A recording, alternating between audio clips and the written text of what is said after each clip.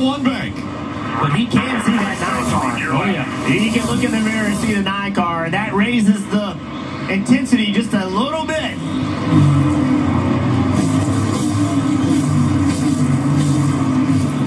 He's gotten super conservative on corner entry, trying not to make a mistake. And Chase the opposite. He's on full aggression. That last lap, almost a second better than McDowell. Yeah, Chase needs this race in the worst kind of way. There's no points avenue for him to make the playoffs. It's a win or nothing.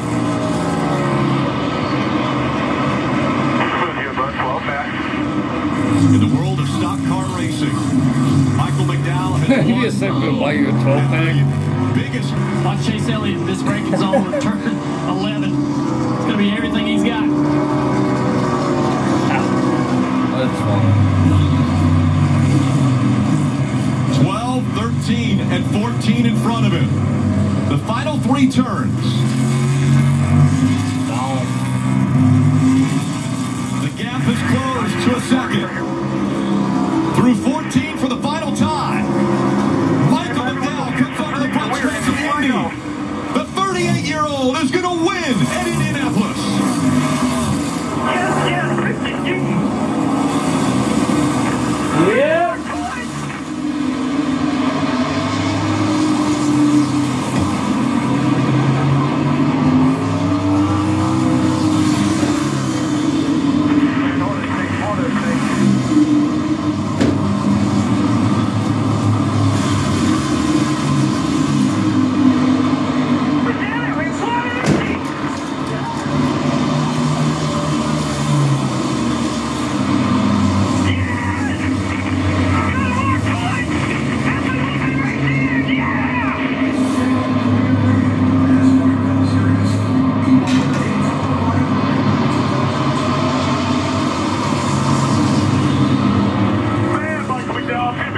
hugging everybody down here. This is awesome. You are the man.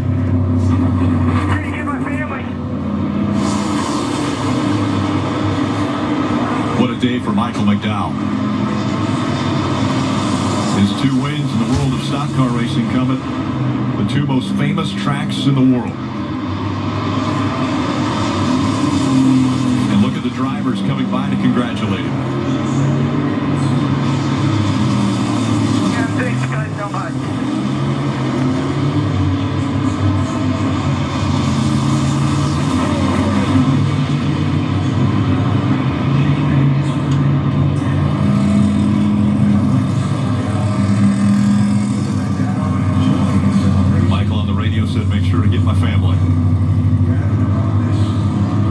Important to him. Wife Jamie, son Lucas, daughter Trace, Emma James, Riley Christine. More drivers going by, giving a thumbs up to McDowell. Again, his career has been a long one.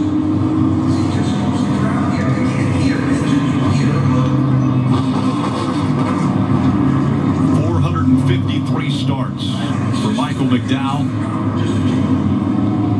For the early part of his career, it was spent finishing in the 20th to 30th position.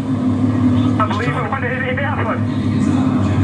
Just trying to get the best finishes he could. And now he's won at the Brickyard.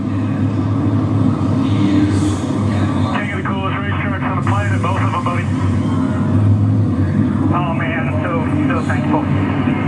Guys so much.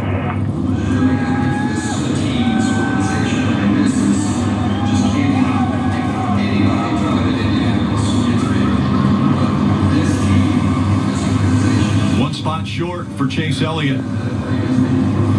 He had got the gap under a second, but just not enough time. And Michael McDowell didn't make a mistake.